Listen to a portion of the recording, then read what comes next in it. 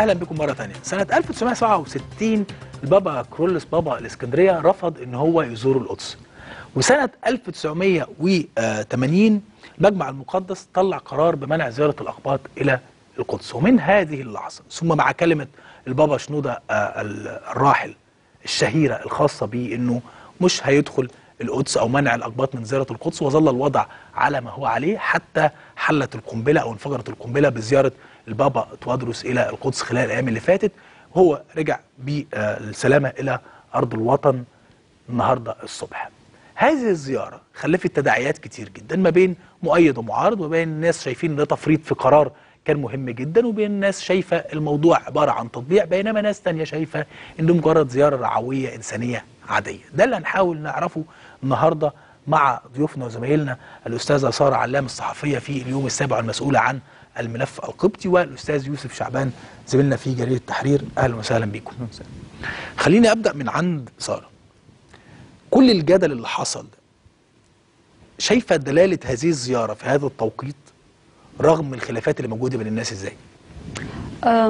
أنا شايفة أن دلالة الزيارة دي دلالة خطيرة. يعني لا يمكن اقتطاع الزيارة من سياقها التاريخي والسياسي والزمني. في النهاية لا يمكن قراءة الزيارة بشكل سطحي أن هي زيارة لأن البابا أراد أن يعزي في مطران القدس آه، الذي كان أستاذه بدير الأنبا بشوي واستقبله لما كان طالب رهبنة صغير. في النهاية آه، البابا توادرس هو رمز رمز كبير رمز للأقباط المصريين. في النهاية آه، سنة 1980 زي ما حضرتك تفضلت المجمع المقدس طلع قرار بمنع زيارة الأقباط إلى القدس. قرار المجمع لم يستثني ذلك من أي أسباب. قرار المجمع ما قالش لو في عزا ممكن حد يروح. في نقطة تانية كان ممكن للبابا ألا يذهب بنفسه ويتجنب كل هذا الجدل ويكتفي بإرسال وفد كنسي. عام 1992 وقت ترسيم الأنبا إبراهام المطران تجليسه على كرسي القدس. اللي هو توفى. اللي هو توفى. البابا شنودة أرسل وفد آه، برئاسة الأنبا بشوي. لأنه كان مطران وفي التقاليد الكنسية المطران يجلسوا مطران مش أقل. آه، وجلس ال- الأنبا إبراهام اللي توفى وفد ورف واستمر البابا شنودة في قراره بعدم زيارة القدس. يعني زيارة القدس حاليا في الوقت ده لا لا يمكن قراءتها كده بعيد عن آه، أحداث كتيرة بتحصل حوالينا. آه، لا يمكن قراءتها بعيد عن أنه في انتفاضة ثالثة حاليا بتتم في القدس. لا يمكن قراءتها بعيد عن توجهات الدولة المصرية في هذا الملف أنه الخارجية المصرية مثلا آه، صوتت في مجلس الأمن لصالح إسرائيل. تداعيات كتيرة جدا آه، تخلينا نقرأ الملف ونشوفه بشكل كامل. الكنيسة نفسها. أيوه أنا عاوز بقى أروح للنقطة دي. وأنتوا بتتابعوا الملف مع الكنيسة وتداعيات الزيارة وبتسألوا الكنيسة. كان رد فعل الكنيسة إزاي؟ هل كان في إجابات واضحة ولا كان في حسيتوا بارتباك ولا حسيتوا بإنه في قلق؟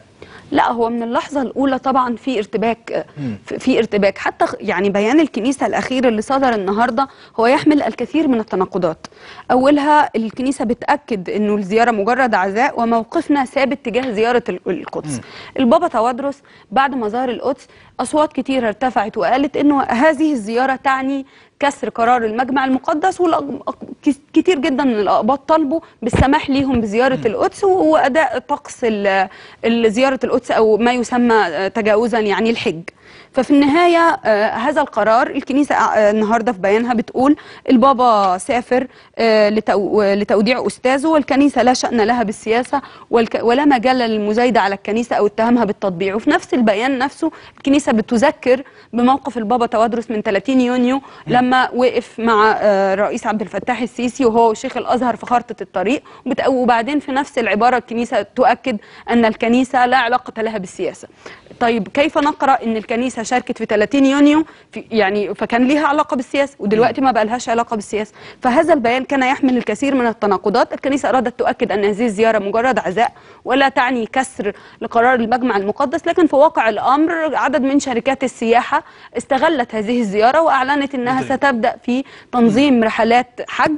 كمان ملاحظ جدا أنه في السنوات الثلاثة الأخيرة آه، بعد وفاة البابا شنودة آه، انكسرت حدة فكرة مقاطعة القدس وبدأت آه، آه، يعني أفواج وزيارات تذهب لأداء هذا الطقس لأنه البابا شنودة كان وضع قواعد صارمة كان يهدد بالحرمان الكنسي أو حرمان من طقس التناول تمام. أو غيره. طب هروح بقى لأستاذ يوسف.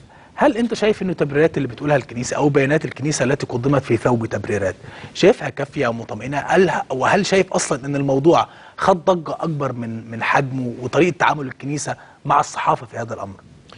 في الحقيقة إن ال- أنا في تقديري إدارة ال- الموضوع من الأول كانت إدارة خاطئة مم. سواء من الكنيسة سواء من الدولة مم. ال- الأنبا إبراهيم توفى أو تنيح يوم ال- أو أعلنت الكنيسة يوم الأربع وفاته وكان ما هو معلن إن هو في وفد هيسافر يوم من يوم الخميس وفي سواد الليل تغير الموقف وكان سفر البابا يوم.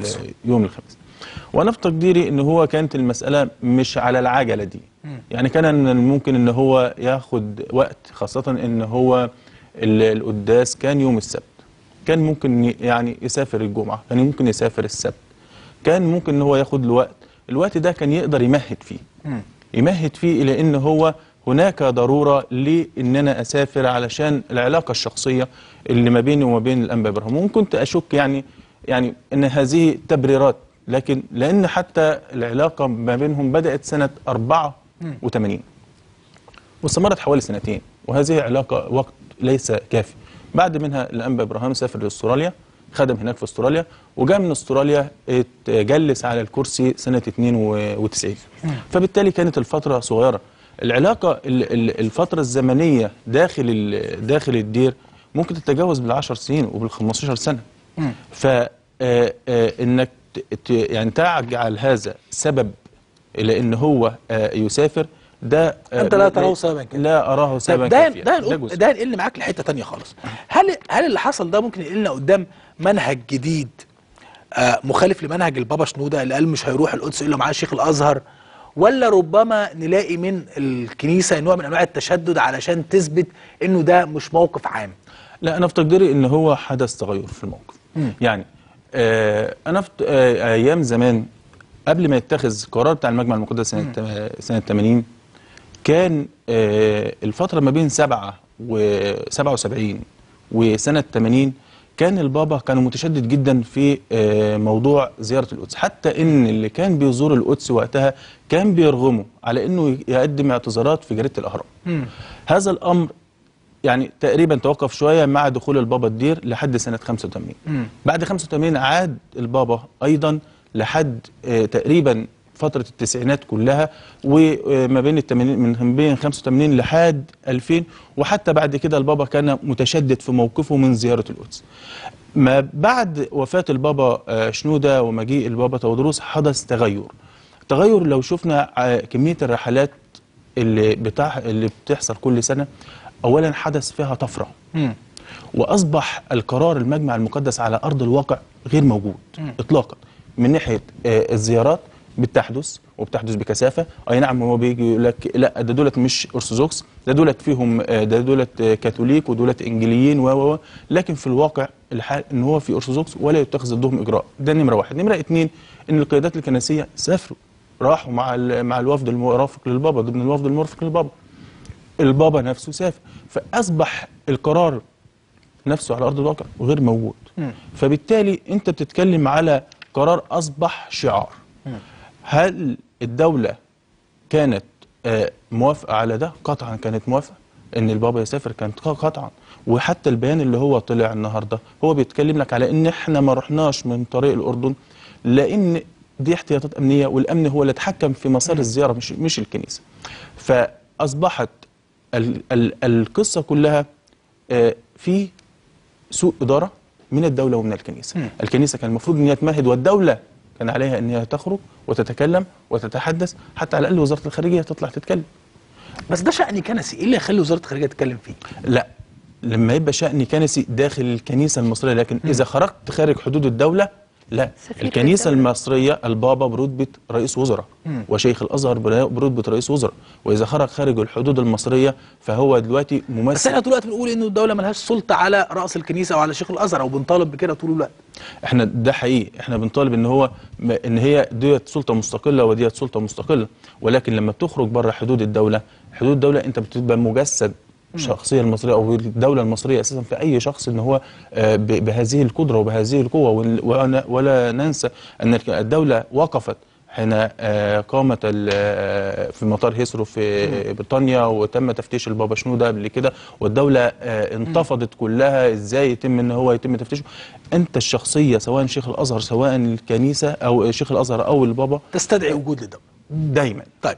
هروح ليكي من خلال بقى كواليس علاقتك الصحفية بالكنيسة. هل كنت شايفة آراء بعض المطارنة أو الاساقفه أو الوهبان الموجودين؟ شايفة موقفهم إزاي من هذه الزيارة؟ هل كان في استحسان؟ هل كان في خلاف؟ هل كان في موافقة؟ هل في حظر هو في البداية عطفا على كلام أستاذ يوسف الرئيس محمود عباس أبو مازن آه، زار الكاتدرائية في 9 نوفمبر الحالي. وطلب من البابا توادرس دعاه لزيارة القدس. وقال له آه، آه، هذه الزيارة للسجين وليس للسجان. نفس الكلام كان- اللي اتقال للشيخ علي جمعة وقتها لما بالظبط زار بالظبط. فما كان من البابا توادرس لأن, لأن رد لن أدخلها إلا مع إخواتي المسلمين. الظريف في الأمر أنه آه، في هذه الزيارة الرئيس محمود عباس أبو مازن أجرى اتصالا هاتفيا بالبابا توادرس وطلب منه زيارة رام الله. فالكلام ده بناء على بيان كنيسة ده مش كلامي. فال